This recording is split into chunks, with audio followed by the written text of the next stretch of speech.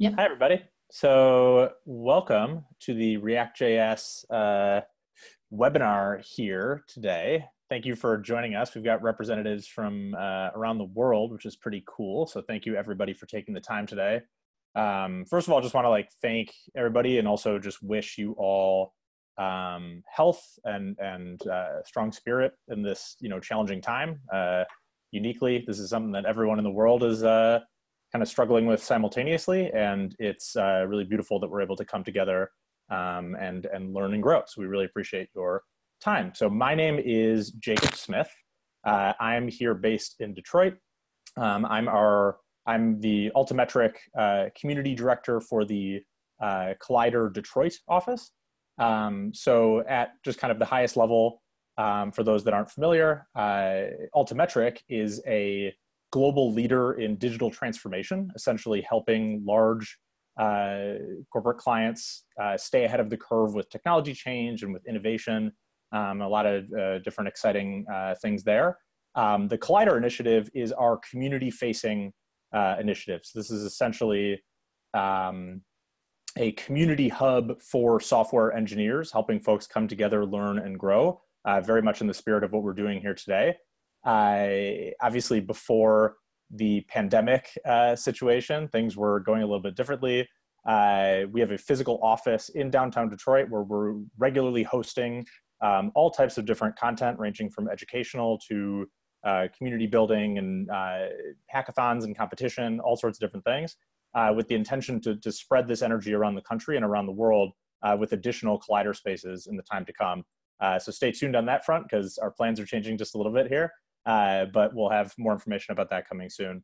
Um, and so, really, while the um, while the outbreak uh, has caused a lot of disruption to uh, our business and, and others, I'm, I'm, sure everybody in their individual lives. Um, at the same time, you know, we've seen kind of this exciting opportunity to uh, come together virtually and start to really uh, explore opportunities on our end to start sharing more uh, content with both our team and the broader community because uh, we have just an amazing team with so much incredible uh, knowledge and we want to start sharing more of that. So uh, in the days and weeks to come, please stay tuned and look out for more of these types of sessions as we will have a lot more really exciting content coming soon and we'll put some links in the chat feature momentarily. Um, and so with that, what I'd like to do is I'd like to hand it over to Tabaret Lacerda, I hope I pronounced that right, uh, down in our Montevideo, uh, Uruguay office. And uh, yeah, we're really excited to talk about React.js and um, some, some exciting aspects of that technology and what, uh, what you can do with it. All right. Well, thank you very much. As you said before, I am Tabaré Lacerda. you almost got it. But sometimes when I'm, I'm talking to people, uh, especially people that speak English, uh, they just call me Mr. T, right? So um, that's easier, right? Um, so let me share my screen, please, so that I can start. Jacob.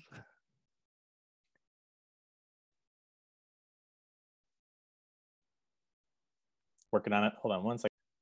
Yeah, no problem.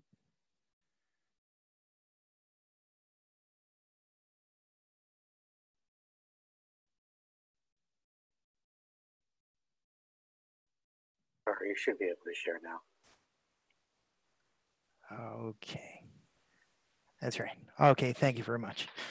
Uh, so today we're going to talk about class versus, versus functional components. And about me, my name is Tabaré, or just Mr. T. I'm a front-end technical lead here in Altimetrik. Uh, I've been working at, at Altimetrik for four months, more or less. Uh, I've been working with different projects during that time. Uh, we had an internal project that was Gloss. Uh, right now I'm working with DevOps, cloud and engineering, and also with, with Fox. Um, we use different technologies. Uh, for Gloss, we had MERN, that it's Mongo, Express, React, and Node. But we also have different technologies, for example, in DevOps. So we use Python, well, we have Redux, of course. We were using some charts for DevOps Cloud and Engineering, and we were using Three.js. And then we switched to Nivo. We also use Material UI, well, and React Grid Layout. Those are some of the technologies that we are using right now. So let's get started. Functional versus class components. So in order to start working with this, what I did was some something very simple. I created a project using Create React App. So uh, probably you have already used this technology. So the only thing that you have to do is just go to a terminal and just type npx create react app and you just name your application and that will create a boilerplate uh, for a react application. So this one right here has a Reactstrap that you can check, for example, here. So basically what it does is just has components out of the box, like for example, alerts or badges, buttons, uh, everything that we already know from, from Bootstrap, but these are components, right? And basically we just change this component by using the props, like for example, color, primary, and you have the list of properties right here. You can check this website later on. And the other thing is in order to create this mockup, what I did was using something that it's JSON um, server, right? This right here and it's very simple to use. So if you see here, um, Visual Studio Code, what I have is a folder that it's named server and it has a JSON. So it's very simple. So with this JSON file here and together with the terminal, I am able to create all the endpoints necessary to, to work with this to-dos items, right? Uh, so as you can see, I just type in JSON server, I set the port to 4000. I set the file and also this flag right here that it's a watch. So every time I do something here, for example, I interact with the app, it will be displayed and show here. So as you can see, now we have another get request uh, for the to-dos. Everything that I do will be reflected here in this db.json in real time. So it is something that I strongly recommend if you have not used this before, especially for this kind of things where you need to mock up an application very fast. Um, as I told you before, it will create all the different endpoints that you will need. Like for example, you get, post, put, patch, delete, and you have all the documentation right here if you need to read it.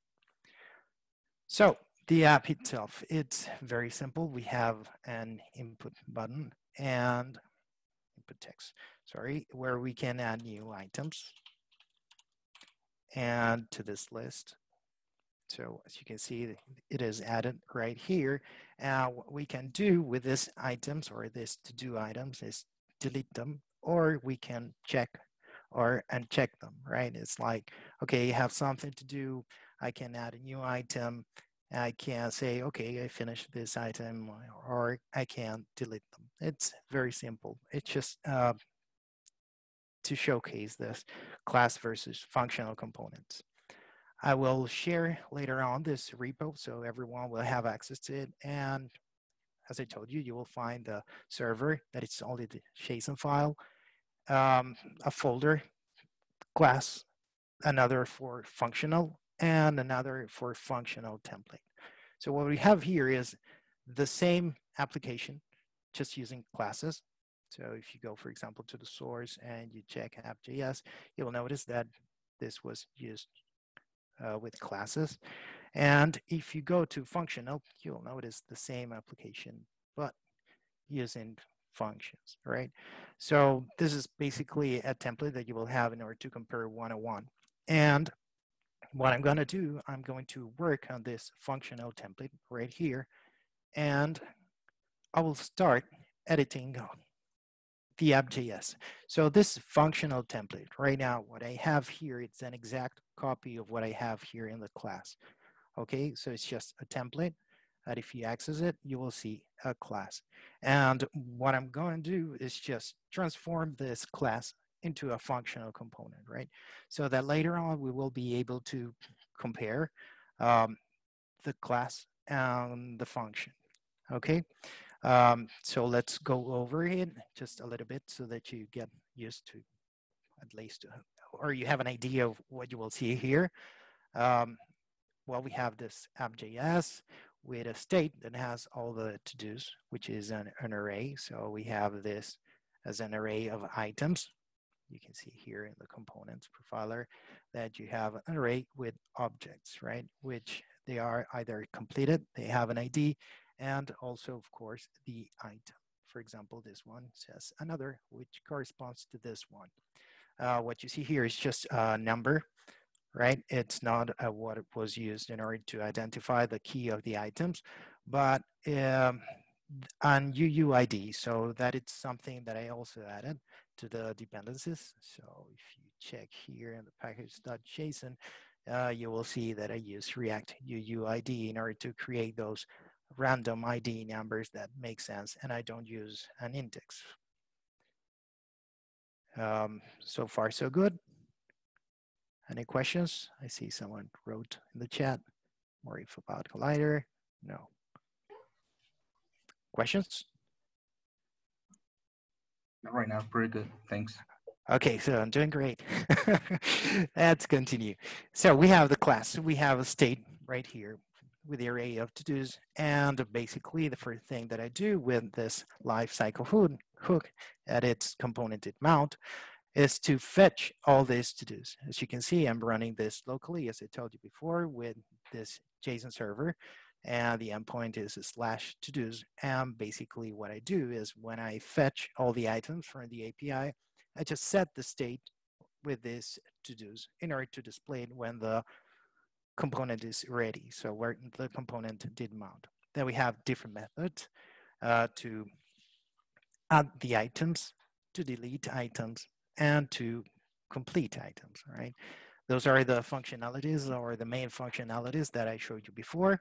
Um, deleting, checking, adding. Then we have uh, the render method. Of course, I use some destructuring here to get the to-dos from the state and we're going to have different components, right? Uh, we're going to have a custom navbar. And let me show this, this custom navbar, because if I go to source, components, and custom navbar, well, I told you before that everything inside this folder were classes. And this is not 100% true, because here you can see that in this is just a regular function, that it's just returning a navbar. Okay, so this component is coming from Reactstrap.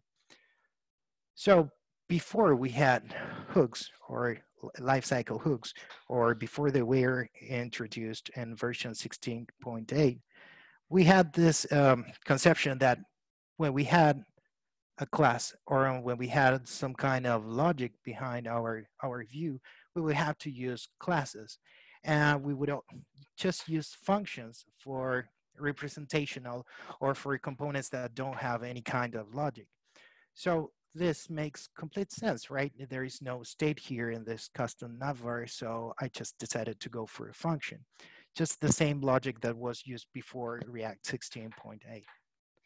Uh, that's why I wanted to show this custom navbar right here. Let's go back to app.js. Then we have a container. So this basically is a div, right, that has a class container with some inline styling, right? As you already know, this are used as objects. Then we have the add to do component that it's the one that we have right here on top with the input on the button.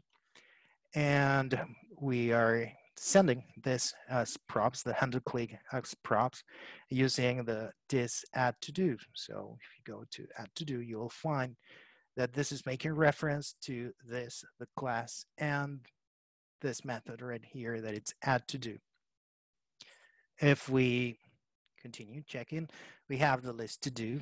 And basically we're sending through props the to-dos that was part of the state. Yes, Ryan? Um, I just see a question. I'm sorry. It says, is this in a repo somewhere? Yeah, it, it will be. Um, it used to be, but the repo continued growing and growing, and I, I added so many things to it that I had to delete it. Well, not actually deleted. I, I made it private, but it, it will be for everyone to check, right? I will also uh, share my email so that you can send me an email and you can get access to it. Okay. Okay. Well, great. Uh, so we have this list to do that basically the list to do is it makes reference to all this, all the list to do. And we're sending it through the props, the to dos that we're in the state, the handle delete function, that again, it's making reference to the method that we have in this class and the handle complete. If we check the components, well, we have the list to do. And basically what we have is just a table with a table head with a number, to-dos, and action.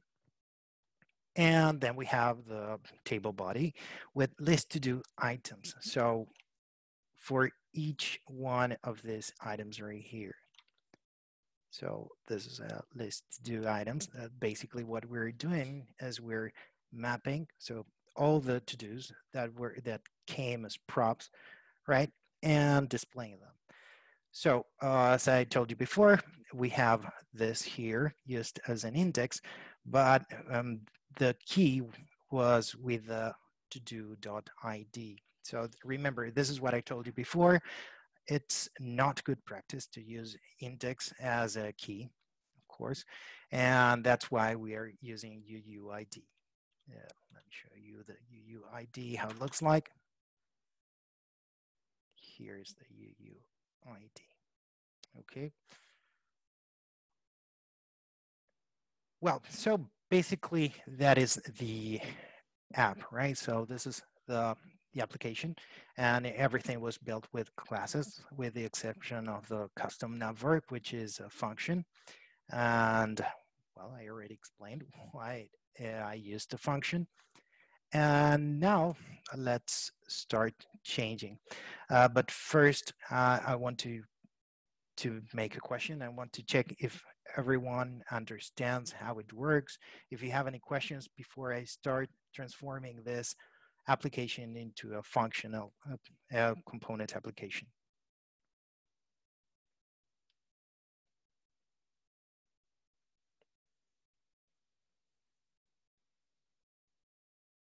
Okay, don't be shy.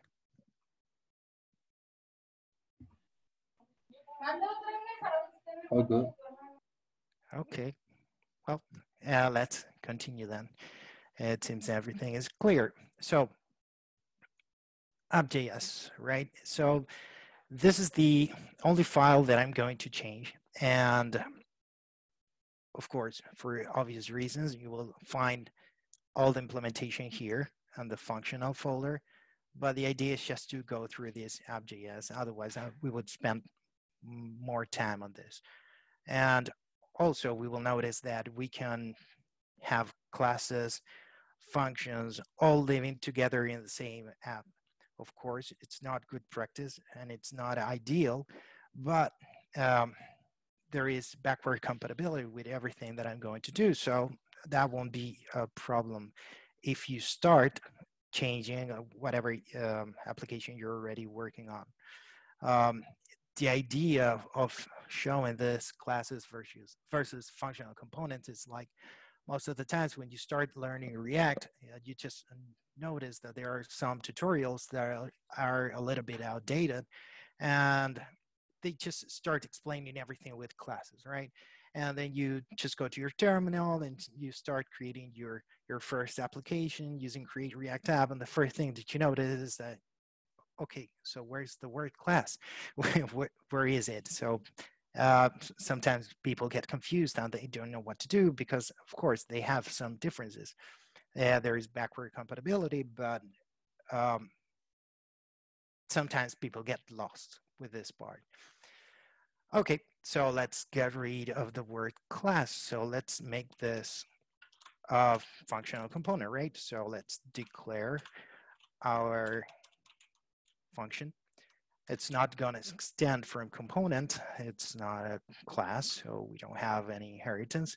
And as you can notice, component is no longer used, so we're going to get rid of it, okay? Um, as I told you before, we had state in a class, right? But right now, when we are using functions, what we do have is use state hook, right? So this right here. So if I press tab, mm, let me see, just failed, typical. There you go. So this, all, all, this will be written for me. If you're wondering how I did it so fast, is because if you go to extensions, you will be able to install this extension right here, which I strongly recommend. So this ES7 React Redux GraphQL React Native snippets. And really, they are really useful by just writing some snippets, like for example, I am IMN, you will get an important module or if you want to import React and component from React, you just write IMRC and you can even create React components by just typing RCC and it will create this component right here. You can create class mm-hmm. components, you can create functional components, and it's really useful. So let's go back to our app.js right here. So as I told you before, this is just a snippet where it just wrote use state, and then I press tab again, fail me. There you go. And another thing, if you notice, I used to have component right here, and I just didn't type use state. So this is also something that it's done automatically by this snippets. So we don't have a state like this, and we're going to use this right here that it uses state. So how does this work? Basically, what we have here is, is an array, right? And we are destructuring it with a state. So here I'm going to write whatever I have in my state and a setter, right? Like when we had like setters and getters and uh, just like like we used to have in the classes, right? And those that are used to object-oriented programming, you already know what I'm talking about, about setters and getters. And so we have the array destructuring right here, and we also have an initial state. So what is the initial state that we have? We have to-dos, right? We have a list of to-dos, and we will need to set those to-dos. So we won't have this option right here. We won't have this this dot set state, but we're going to have set to-dos that it's making reference to to-dos and how we're going to set the state using the set state. And then we have an initial state. And uh, I'll ask you a question. what should I write here inside initial state? I'm going to ask the questions so that I can drink some water. An empty array? Yeah. That's right, an empty array. So this is exactly the equivalent, right? We have the user state hook, right? And the state. Basically, they are doing exactly the same. So we have the state and the set state. And we did exactly the same by doing it this way, right? So we have to-dos, the setter, and the initial state. So we have an empty array for to-dos. So we can get rid of this state right here because we already have this. And then we have this component did mount. And of course, we don't have this with uh, functional components, but what we do have is a use effect. So again, use effect, I press tab and all this code is written for me. Also, well, it didn't work out of the box, but let's import it, right? Not that way. Use effect. Okay, so we are importing the user state, uses if use effect React from React. So if you take a look at this, basically here we're going to write our effect. And we also have this return that I uh, will not discuss about this, but later on you will be able to to read more about this and how these are used. But basically, this is used for a case scenario where you want to unmount your component, you want to use this return and use some kind of cleanup. So let's get rid, rid of this. And then we have this array here where we're going to add all the dependencies that we have associated with this effect. In this case, we don't have any. The only thing that we want to do is just to fetch, right, from localhost all the to-dos. So I'm gonna take this from here and I'm gonna paste it right here. Let's get rid of component did mount. Okay, and well, let's just use fetch, right? You can use different technologies, yeah, you may know, um, but I just try to stick to to the most basic, right? So we are fetching from the local host port 4000 to-dos, and then we're transforming the response that we are getting from this to-dos. As you can see, we can just copy this, and if you go to any browser, we can paste it, and you will see that I am making a get a request from all the to-dos. And as I told you before, we don't have this set state, right? So what is it that we have? We don't have this because we're not making reference to any classes. And I told you, we don't have this set state. What do we have? So again, another question. What am I gonna do there? Have set to do. Uh, who said that? Hi, Patricio. Ah, Patricia. Thank you very much. I, I, later on, I will pay you, right? Thank you very much. So basically, as I said before, we have this set to do's, which is going to do exactly the same as we were used before. And what are we gonna put inside that? Any other person that would like to contribute? This is the setter for the to-dos what do I want to do? I want to set the state in a way of this to-dos. What should I write? Is this ready?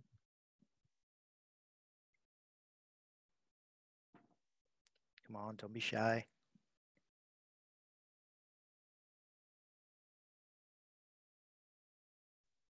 I'll start picking up names. don't make me be evil.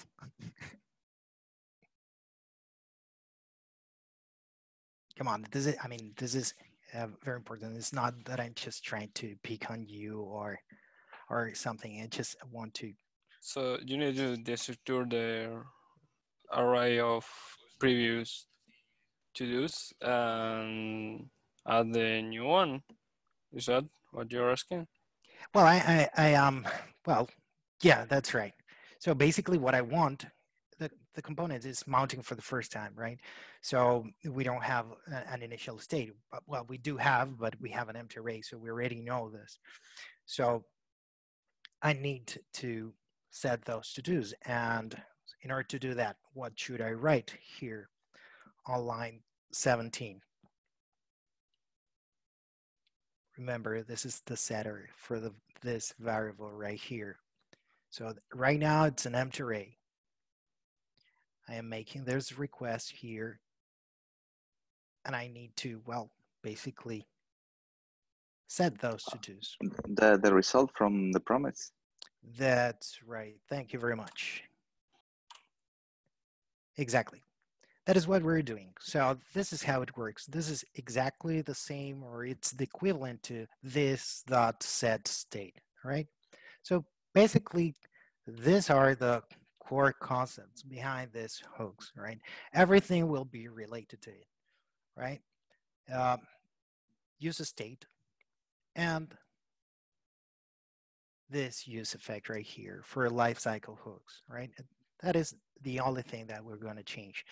Eventually, we will need to change some other things. Like, for example, this add to do used to be a method right from the class. So right now, if I don't define this add to do, um, it will not be recognized by, by the application. So we will have to transform all these methods into just uh, functions. As you have noticed, I'm just using arrow functions. And we have just one item here, so I, I don't need to use parentheses. And okay, let's just think for this add to add to do, right? Now line 24, basically what we are creating is a new item, right? With the ID using this UUID method that I mentioned before, with, it will be set as completed to false because of course we are creating a new item and it's not completed because it's new, right? And the item here, it's coming from the props, right? Um, when we want to add to do, we are sending this item. Well, uh, we write it right here. So every new item that right here, um, a new item will be added. So that is the item that I am creating, okay? Okay.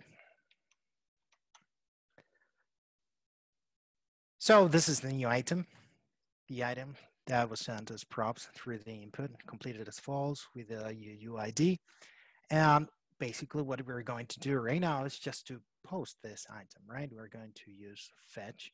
The method will be post with the headers, um, content type of application JSON, and we are going to stringify this new item, right? And I will have to make some changes right here. So we have lines 32, 33, 34, 4, and 35, and I, I will need to change this. Now, any volunteer who'd like to start with line 32? What about this const to do's? Is this correct? Probably it is not, right? Otherwise I wouldn't be asking.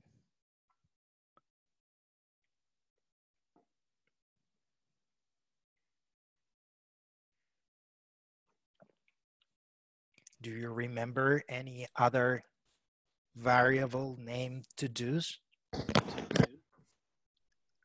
Uh, yes. I don't know. Was it you, Petre? Is it F Petre? Um, yeah, uh, uh, Facundo. Ah, Facundo. Uh, I guess I guess you have to remove this this dot state and look for the name of the use state hook. You do it previously and know the name, okay. Yeah. and then change the use state to the set for that hook. Oh, okay. You got Okay. Yeah. To use and set to use. okay. So we need to change the this dot state. okay. I'm gonna Just erase it. Instructions. We don't have this because we don't have the class. We don't have the You state. don't need, just and then do's. we need to change the this dot set state yeah. on the next line to set to do's, Set to do's. Okay. Is that it? and you need to pass the to do's. Okay. Sorry about that. To do's. Any other thing? Is that it? Uh, I think that's it. Any other uh, volunteer? We, have a problem. I think the linter is uh, the to do's at the top looks like it's not being used. Mm-hmm. Maybe a typo. This one? To do's? Yeah, I see like Yeah, it's Great. not it's not used, but if you look at it, I am basically using the same Ah, name this- here. okay, that's it. That's the thing. You had to change it. I have to use it anyway because I already have this to do. It is right here, so I cannot define this again, right? So let's name this like uh, add to do the added to do probably. This is just a name, so we need to change this names right here, right? Because we can't use again the to do's because we used it here with a state. Okay, was that clear for everyone? And I take that as a yes. Okay, think yes.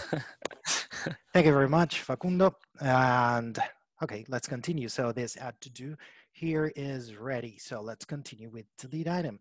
So the same logic, right? As you can see, this is very easy to implement, right? Uh, just a few changes and we are transforming our class component to a functional component. So delete item, we are receiving the ID, remember, from this UUID.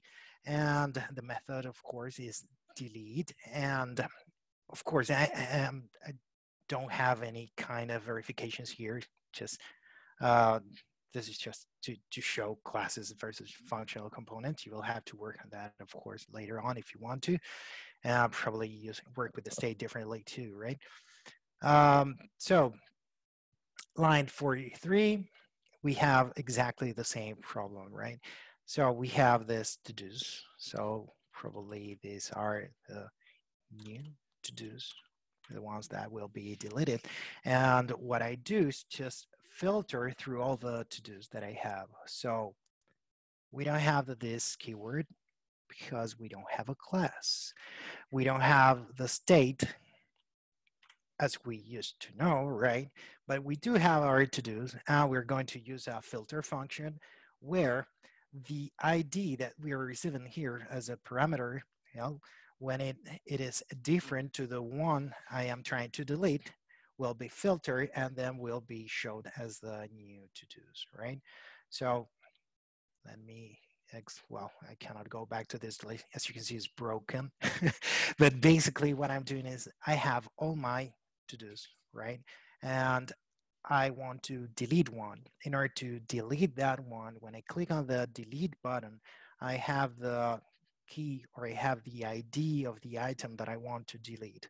So the only thing that I do is just change the state, right? And filter all the to-dos or show all the to-dos except the one that has the same ID that I'm receiving as a parameter when I want to delete an item.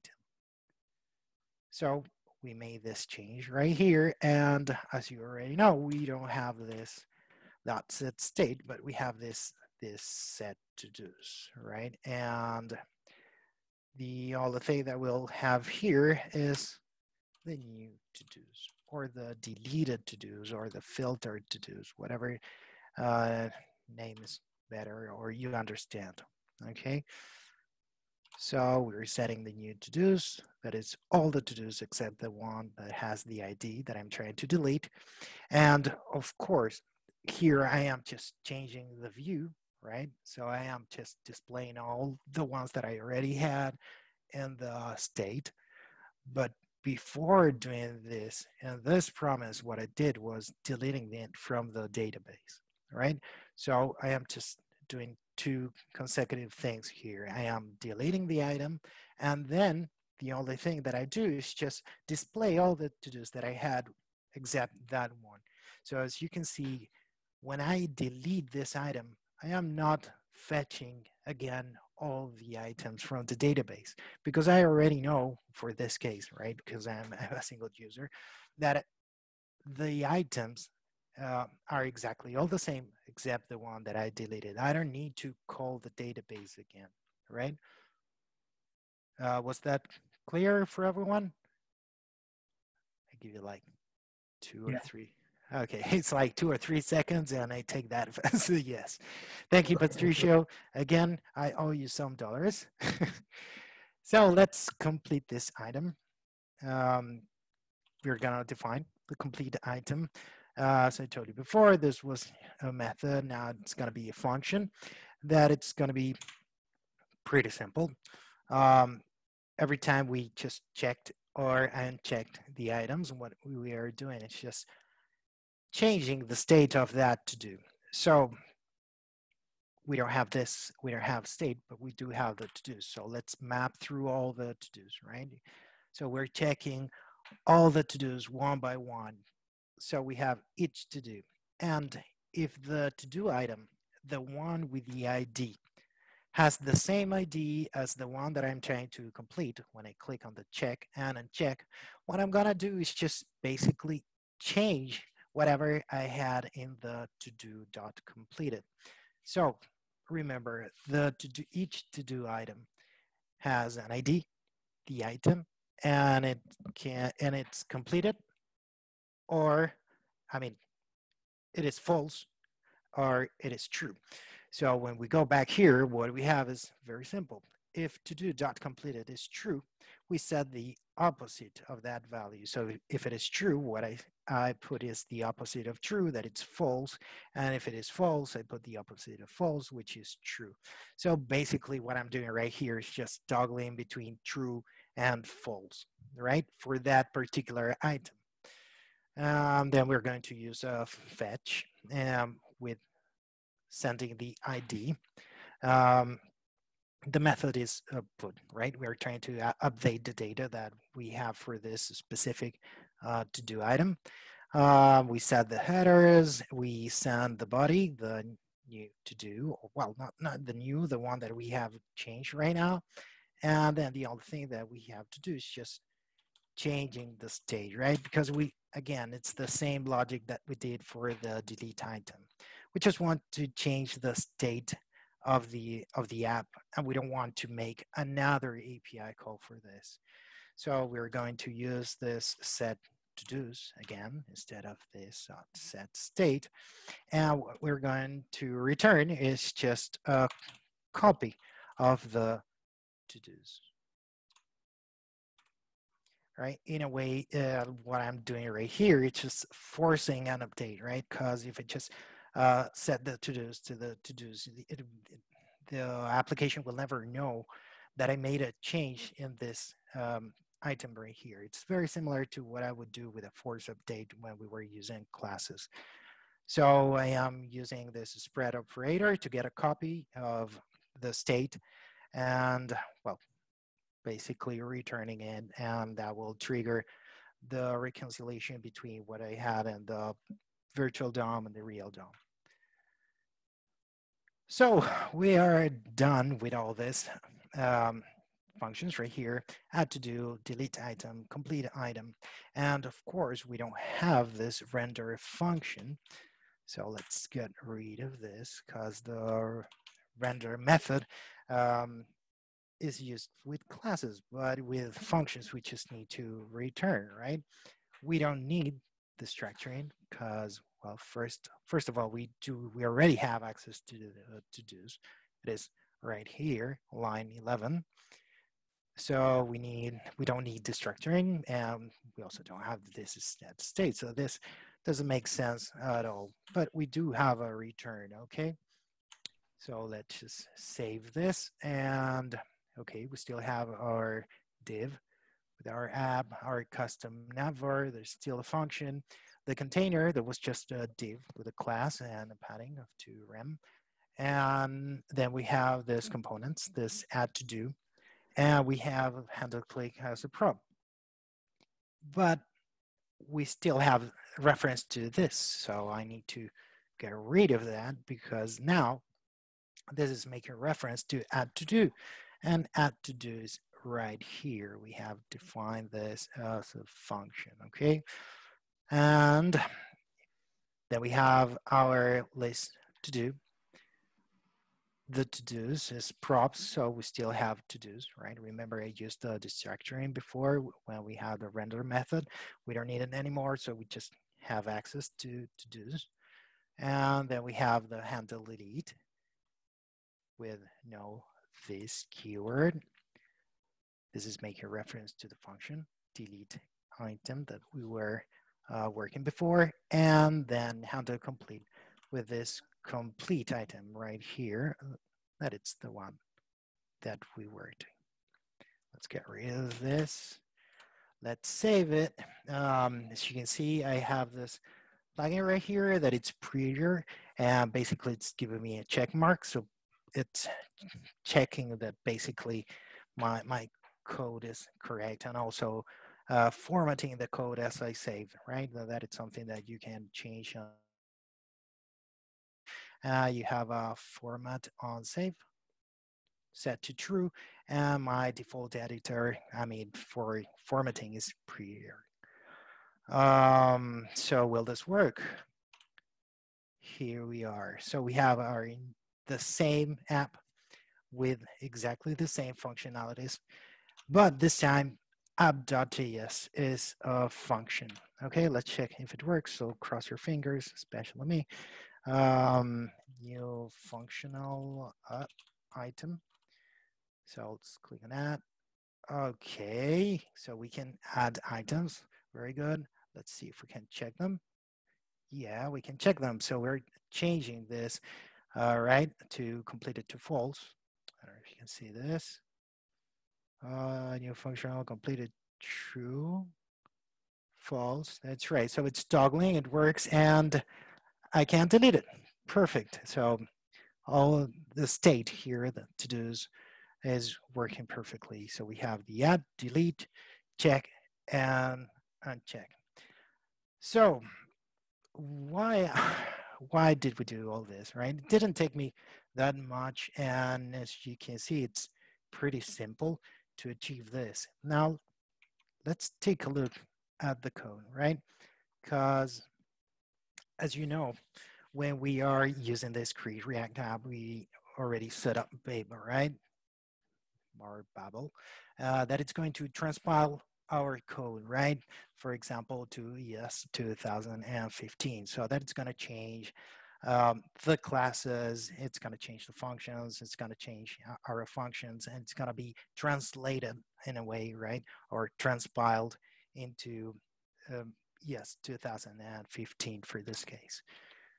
So let's compare, right? We have the functional template, we have our class, we have app.js, right? What I'm gonna do is I'm gonna select everything, right? As you can see, this is a class. I'm gonna copy this and let's go back to Babel. I'm gonna paste it right here. And here we have the transpiled code, right? And if I scroll all the way down, I have 188 lines, right? Uh, of course, this is a class, and as you might know, classes in JavaScript, it's just syntactic sugar. Um, that basically means that we don't have classes, but what we do have is just exactly the same that we had before, right? We have um, functions and we have prototypical inheritance, and that's the way it's gonna be transpiled, right? So even though we use the word class, you will not find the word class in this transpiled code. So basically, what we are doing is transpiling everything and using this syntactic sugar right here. Uh, but in the end, everything is a function, okay? So let's go back to this. We have 188 lines of code and now let's go to our new functional template app.js. So it's exactly the same. It's the same we have done. So I'm gonna select all the code. I'm gonna copy it and I'm gonna delete everything that I had there. Remember it was 188 lines. I'm gonna paste it here. And once it's transpiled, if you scroll all the way down, you'll find a hundred that we only have 130 lines, right? So uh, what is the conclusion? We have 50 lines of code more when we are using classes. And just look at this app, right? This is a very simple application, but just imagine if we had a larger application and we're just using class components all the time. So we're gonna end up with probably 33 or even more uh, percent of, of, of code in our um, in our application. So when you when everything is bundled right by a webpack, you will find that if you use classes, you will end up with more lines of code. And of course, in the end, that will hinder performance, right? It's not just that we're using functional components because it's trendy or it's cool, right? There is also evidence why this might end up um, improving performance in your applications. And as you notice, it's very simple to, to change. It doesn't take that long. But on the other hand, I have to say something about classes. And these are all the methods that you have available when you have classes. And I think they are pretty descriptive with the names like uh, should component update or component did update or component will mount or component did mount, right?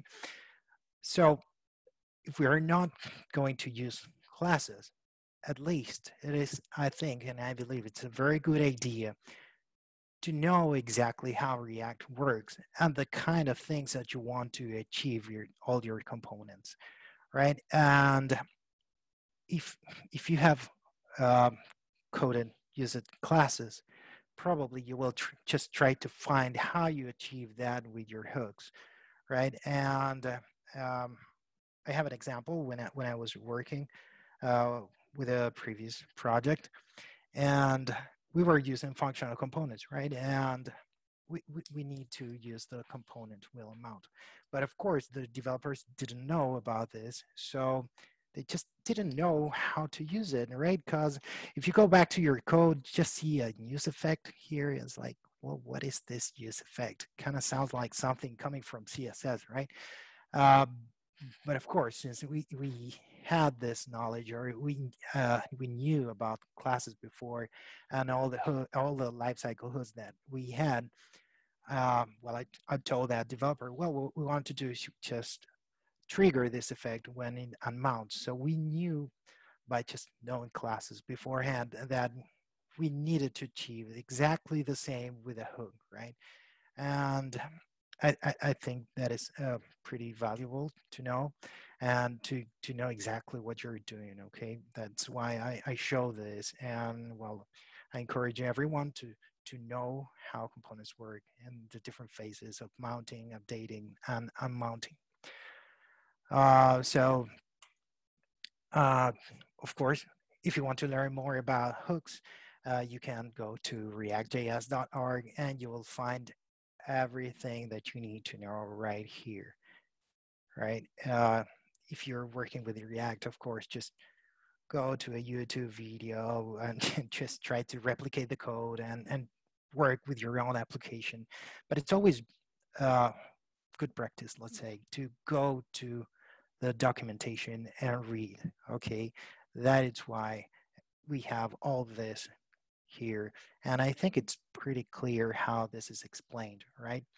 And just go through all these items and later on you'll find that it's it's going to be easier to understand all this. Um, okay. Um, as I told you before, read the documentation, okay? Uh, this is uh, the website for Babel, right? the transpiler if you want to check or do some checking. And this is my email. So if you need, for example, access to the repo, just ping me uh, to De La Cerda and at altimetrik.com. And now, questions. Do you have any questions?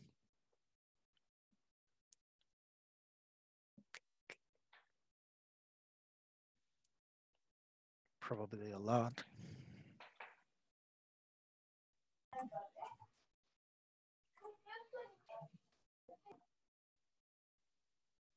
No questions?